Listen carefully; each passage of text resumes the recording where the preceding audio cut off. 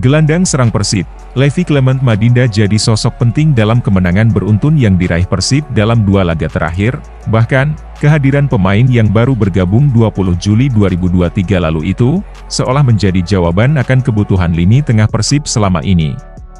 Bahkan, dengan berhasil mencetak satu gol indah ke gawang Barito Putra dan menjadikan gol terbaik pekan ke-8, dia juga mencatatkan 323 menit dari lima kali penampilannya, membuat Madinda pun kini menjadi idola baru bagi para bobotoh, awal kedatangannya, dia dipandang sebelah mata.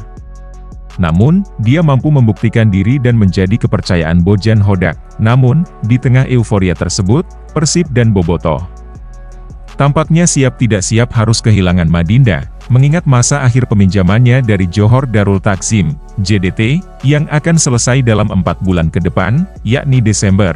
Dengan situasi tersebut, masa depan Madinda pun menjadi kian tidak pasti. Hal ini menuai tanda tanya bagi manajemen Persib.